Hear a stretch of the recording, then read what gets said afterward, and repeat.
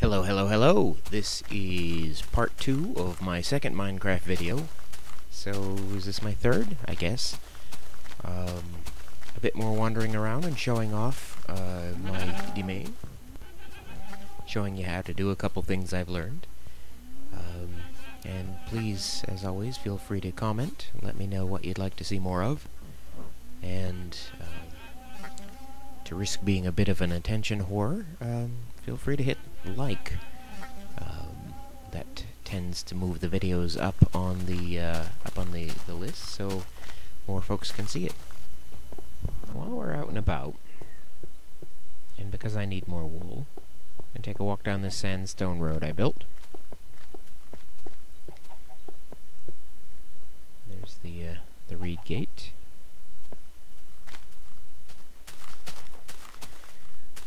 I found um, a huge complex of caves that were just vast. Uh, I I spent days and days in them, partly because I was lost and partly because I just kept finding so much stuff. I set up a base camp uh, outside, uh, and then had a hard time finding my way home. So, since there's still a lot to be done in that particular cave system, that mine, um, I decided I'd find a way to mark it so I could find my way to and from. And the first thing I did was the, uh, you see the, the tall, thin pillars ahead? It's essentially just a pile of sand with a torch on it. It's visible for some distance, but not across mountains. Um, but that helped me find it. And then once I found it, I used my compass to find a straight line back to home base. And then I built a road. I call it the Redstone Mine because, well, that's what I seem to find most. And I've still got the, uh, the chest, the furnace, and the workbench here. At some point I'm going to come back and do another sort of marathon mining I finished the outside. Inside, it's, it's a really Hmm. complex series of caves. And, and I already fell down. There are three branches right, right from the outset. And I, I got lost. So lost.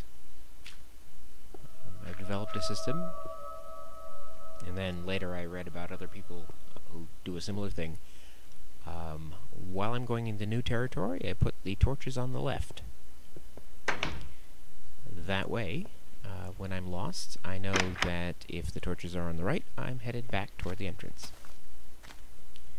Of course, this cave is complex, and there are loops, and, and, and rooms so big they have to be lit on more than one side. Um, but that basic setup will, uh, will work. Now, aside from showing off, the other reason I'm out here is because at night, uh, the friendly mobs only spawn where there's light. And out here, the only light is right here. You know, back at, uh, back at the manse, there's a lot of lit area. Um, but if, say, in this acre, a hundred sheep are going to spawn, they've all got to spawn right here. And so it seems like flocks and flocks of sheep, like my road.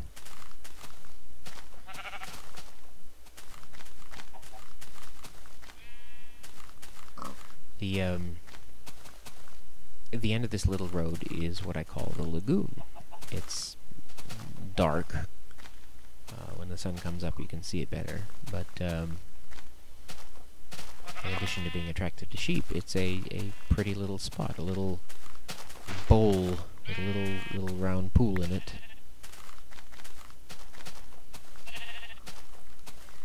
You know, I, I know it's a game, but it, it you know, first time I saw it, it my thought was this was a, a, a beautiful beautiful piece of nature.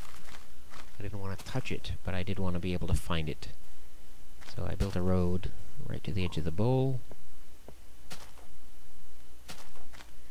Since then, I've found lots and lots of beautiful places. I've done more exploring. Um, but I still have a fondness for this. Um, but it, you know, it should have something more than it does, I think. And that's probably just me being uh, conceited human. Again, we're not really dealing with nature, but it's sort of in the style of nature, I guess. With this bucket of water, I might throw a waterfall in. Way easier to do in Minecraft than in real life, although other things can be harder. Just get to the top of that mountain. See the moon? That's actually taken from an album cover. Um, Crystal Method. I don't remember the name of the album. Reduced to 16-bit, it's kind of homely, but... Oh, oh sheep. Okay, I'm so used to playing on peaceful when I'm you know, uh, doing most of the construction that I fall off things a little too easily. And someday I'll be playing on regular and I'll fall down and break my fool neck. So you you can fall far enough to die, uh, in even in peaceful mode. You just have to go really far. I did it. So I like the way water lights up in this game. This little divot and drop the water. We'll see what happens. This sort of thing is also easier to reverse in Minecraft than in real life. So I'll ride it down. Hmm.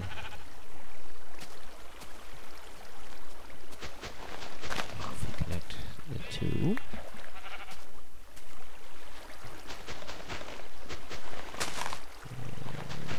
Like they're clashing. I was hoping we just kind of gently become a still pool.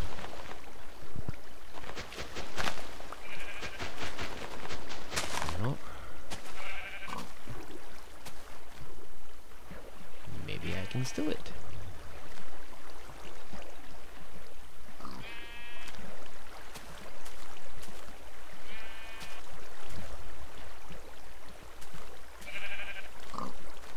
It's better. That's not bad. That's what happens when you pour water on the high point. Make this kind of weird bulbous flood thing. Sorry it's so dark, folks.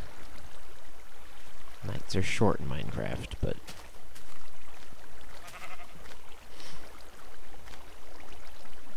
But, nothing. I just trailed off there. I think we'll uh, build a little catch basin for the waterfall. At least for now, we'll do it with turf. My new favorite building material. It's cheap, it's plentiful, cheap. You can pound it out of the ground with your fists. Let's see.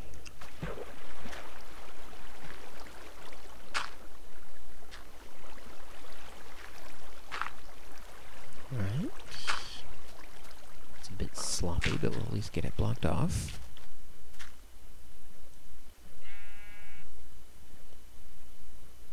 It's not creating quite so much of a havoc.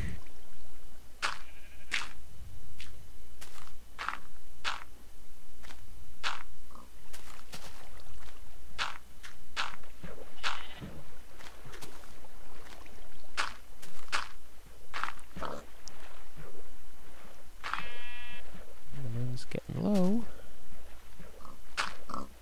Should be getting sunrise soon.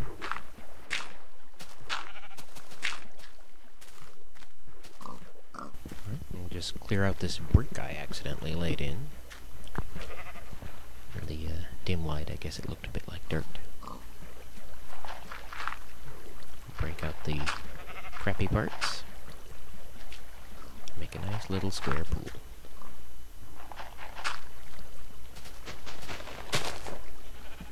Got a fairly strong current here. I think I may make it a still pool. As I did with the, uh,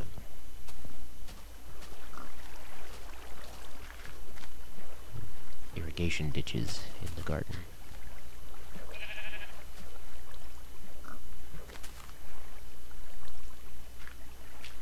I've noticed reviewing my videos I sound a bit like Bob Ross. Just a happy little tree over here. Ever watch Bob Ross? I think he's still around in syndication on NPR. Goofy hippie guy with a big old afro. Great painter. Mostly did landscapes. Just a few brush strokes. Created, you know, pretty impressive stuff. There, still water. But he had this way of talking. Alright, I think that's quite nice. Let's see if I can get back up to the top. It's getting brighter. Looks like the sun may be coming up.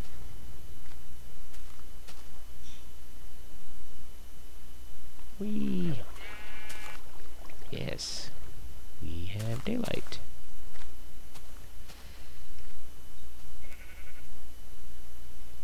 I think that's a, a, a good use of the uh, lagoon for now. Thinking of maybe making a little uh,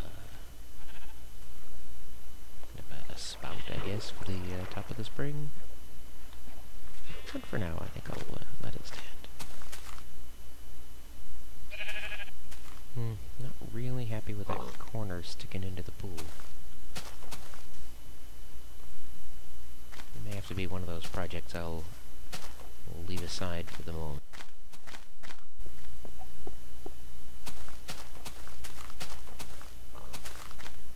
Ugly pigs. And now that it's no longer getting dim, we can get a good view of the outside of the turf fence. I might want to try... No. I think for now we'll leave it as it is. And in through the reeds, up over the slab. Maybe plant a few more trees around the edge.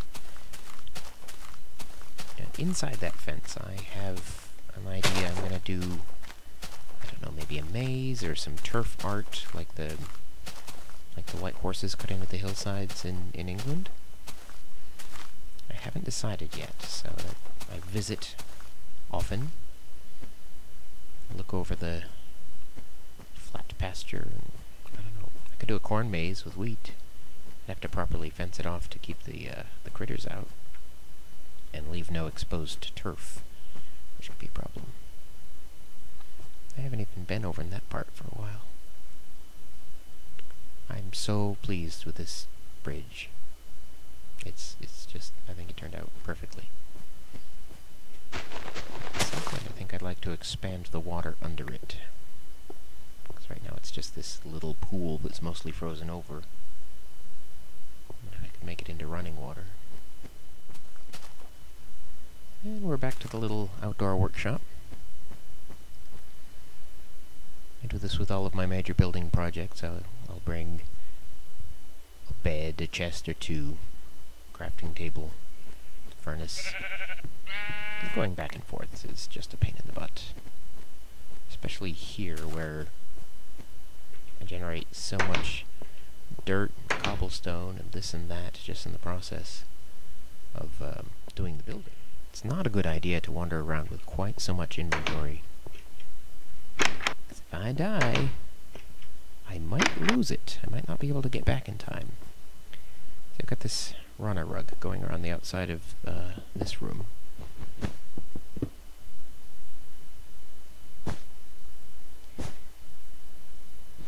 Still got snow all over the place from before I had the roof on. It Hasn't snowed in a while.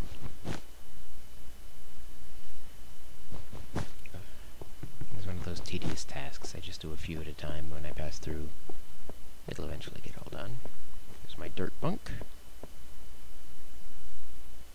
Remember from last video?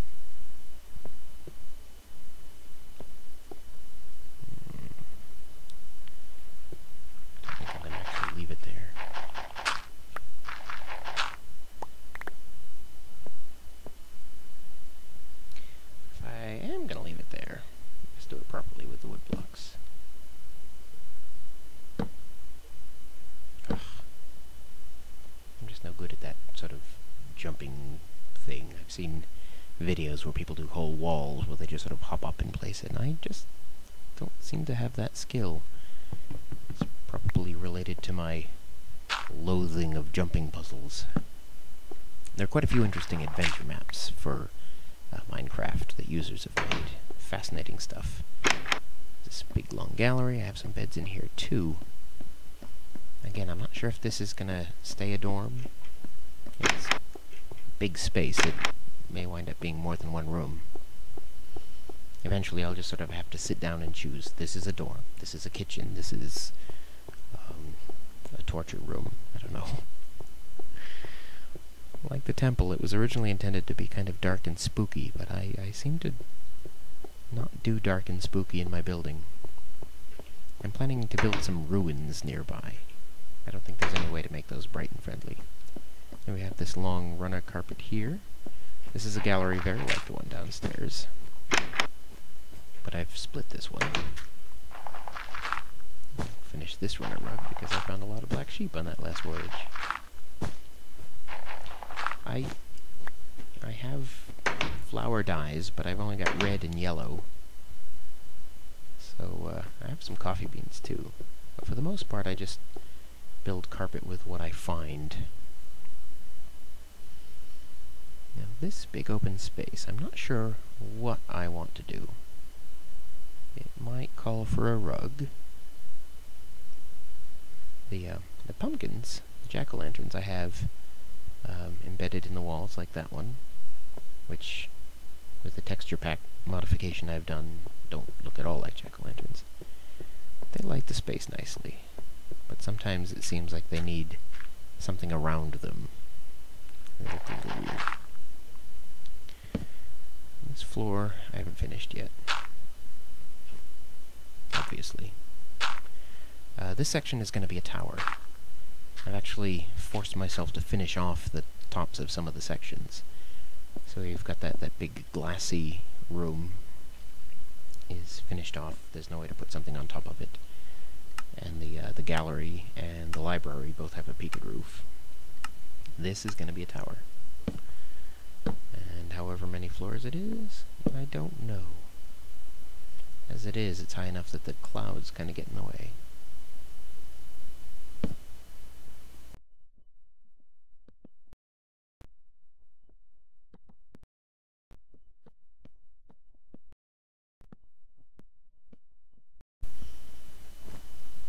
There's a big chunk of the floor slash ceiling. Let's make some proper steps here. I think I'm going to try something I've been wanting to try for some time. Never actually did it. Stone slabs for stairs. Let's see. Do I want to put a block under it? No, I think I'll do floating stairs. Getting dark again. I'll uh, give you guys a break and not a whole lot in the dark this time. There are floating stairs, and also sort of demonstrated how you how, how you have to work with the slabs. You can't just place them anywhere. You can't connect them beside or under things. Um, they're going to be sitting on top of something, but they will stay there once you remove the support. Uh, jack-o'-lanterns are the same. Um, stone stairs might be the same. I'm not sure. It's getting kind of dim. I think we'll do a double wide stair. When I put the video together, I may brighten this section.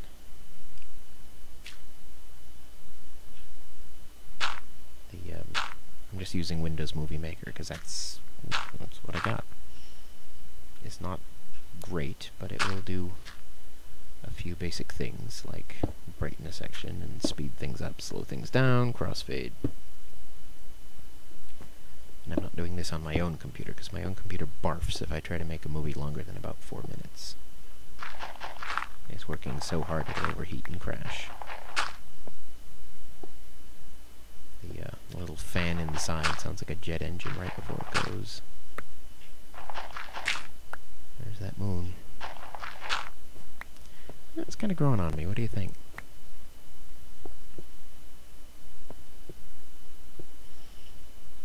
I think that's a lovely set of stairs. I'm really pleased with that. I think I'll probably use that method for the rest of the tower. Block that in? Leave it? Yeah. So I've got sort of different kinds of stairs at each floor. Since this is the top floor for the rest of the building, it's just the tower. Need stairs here. I might have them sort of spiral around the inside of the tower. And put some more floor in. I'll speed this part up as well.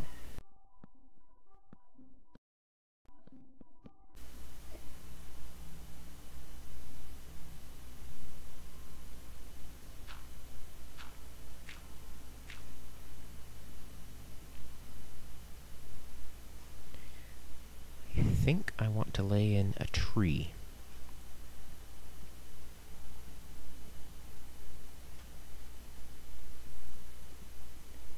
So I want to put it in the middle of the courtyard, and I do uh, 3 by 3 so there's a center square. And I'll probably put flowers around it once the, the grass grows in.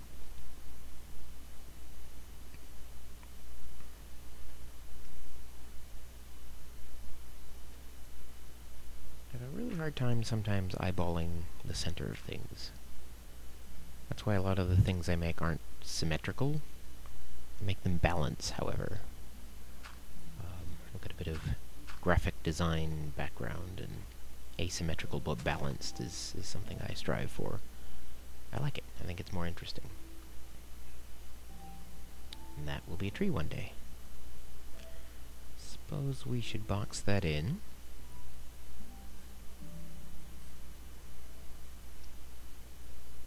Um, hmm, it's not as big as I thought it was when I was making it. Fortunately, we've got plenty of bricks. I played in this world for a long time thinking there were no bricks anywhere. And then when I changed textures, I made the bricks sort of more significantly different from the sand, so I could spot them from a distance, and I realized that was clay all over the place that I could bake into bricks. Yeah, that's nice. Left the corners out, um, so it's still fully enclosed, but it saves four brick blocks. And it's a, a place where I can, I don't know, put a light in or something. Needs something more. I have an idea. It's not a new idea. It's something I've done elsewhere. I guess in the asylum this would be where the high-functioning patients could come, and it'll be a, a bright, cheery space.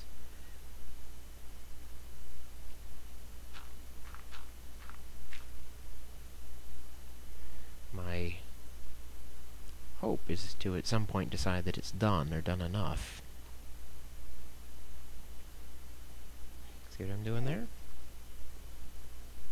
Talked about it, now you see how it's done. It's quite simple.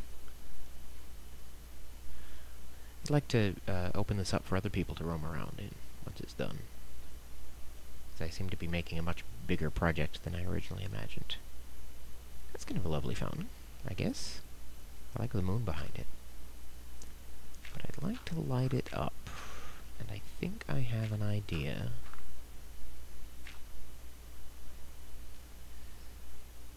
It's a crazy idea, but it just might work.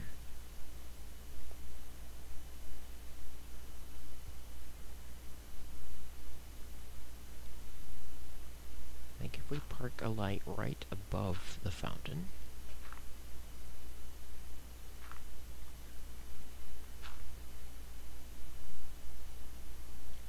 I don't generally make things that float in midair. I sometimes have a hard time making scaffolding because it's difficult to make steps going down unless you have a like a wall against which to, to place your blocks.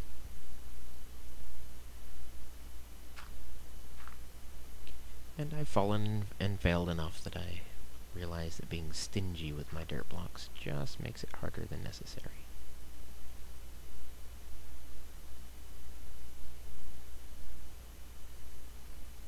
Now, need to place a block, and it needs to be attached to something, and I think my dirt scaffolding is one away. This is uh, glowstone by the way. I, uh, I made it green. There's more than one color palette in the nether. There. Only glowstone block I have. They're such a pain to harvest. I don't think they're worth it. The uh, jack-o'-lanterns I like too, and they're easier to harvest, but not particularly easier to find They're a little on the rare side.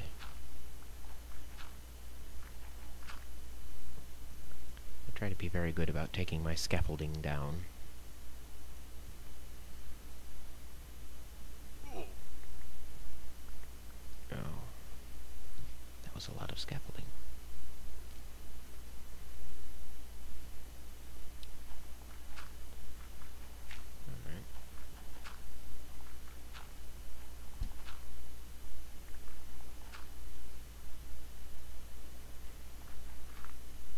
Steve has a long reach.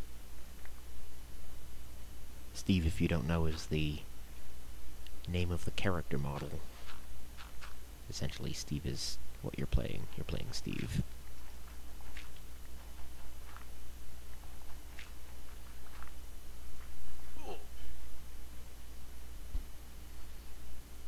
Now, I've modified mine ugh, a little bit really I just sort of opened it in the GIMP and uh, opened the hue saturation. that didn't work.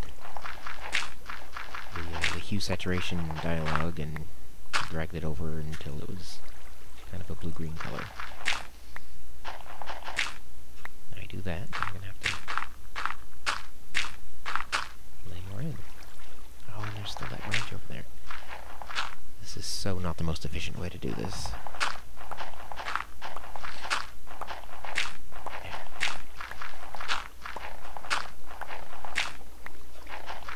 And daylight's coming. Huzzah! There. It's kind of a nice little courtyard feature thing we go in there, particularly once that tree grows in. Hey, it's snowing. Great. and now it's raining. Oh. I know this uh, this building's right on the edge between snow and rain. I wonder if maybe I should uh, mark it where the boundary is. Okay, having the rain coming in there is going to bug me. So we're going to put a little uh, lip over the top of the uh, the the ladder hole. This will be the last task of the day.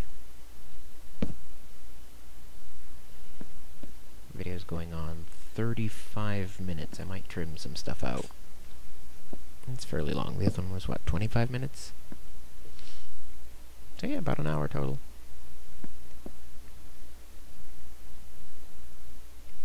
I'll see if my connection on YouTube will be sufficiently um, able to support the upload. And other useful wooden slabs. I think they're pretty. Of course, at some point I'm going to turn off peaceful, but for now, it, I'm just creating complex enough stuff that I, I really don't want a creeper to sneak up on me and blow it up. If I go off peaceful, it's going to be when I'm out roaming or working on something a bit sturdier.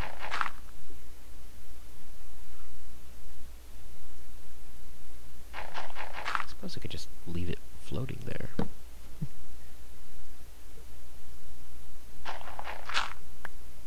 Uh,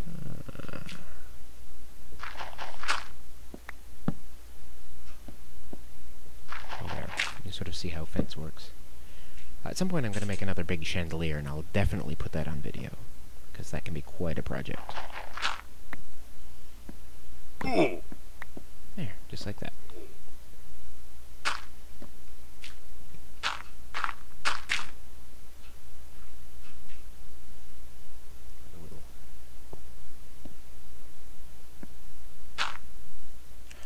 That was great. see if we can't do this. There. Let's actually give them a little... Let sides so they're not hovering over the poles. Um,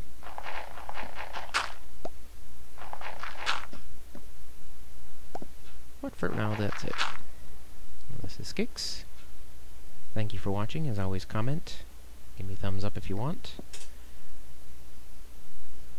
We'll just sort of pause and watch this sunset.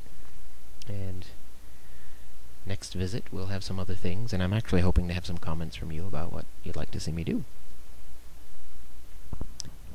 Good night.